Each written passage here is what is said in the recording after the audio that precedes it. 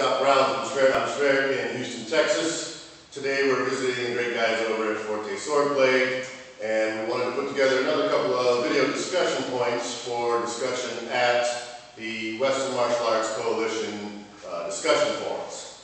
Okay, today we're talking about guards and debating, challenging some of the general concepts uh, related to guards in the Germanic fencing systems, particularly the longsword, um, for further discussion, basically.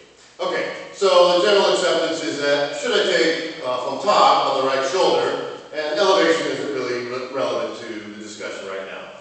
It's fairly commonly accepted that if I take vom Tag on the right shoulder, I should position myself with the left lead foot.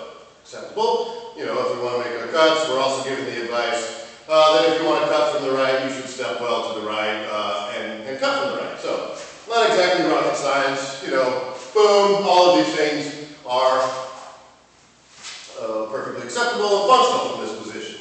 However, the, the point we want to debate or discuss is, is it acceptable within Germanic longsword fencing systems to stand with the right foot forward while also staying in right vom Tag? Case in point, standing in this position does not actually impede our ability to step well to the right and make our cuts. Right?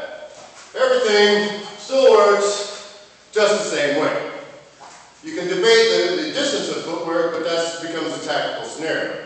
So, uh, same point goes for Pflug. Generally, we want to start with our left foot Pflug, moving into, you know, various cuts and tactical scenarios. However, uh, if I position myself in Pflug from the right foot, I still can step well to the right, making all the same basic actions that I like. Right? So the question on the table is, is doing this acceptable within the Germanic fencing systems and does it play a significant role? And have we been uh, limiting ourselves or misunderstanding the greater picture of the Germanic fencing systems? Okay, thank you, and we'll see you at wmacoalition.com slash forum uh, to discuss this further.